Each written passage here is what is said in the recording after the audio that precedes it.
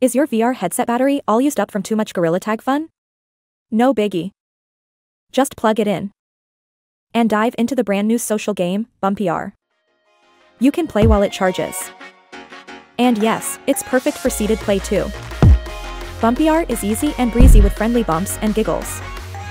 Charge up, jump in, and let's have a bumping good time with BumpyR.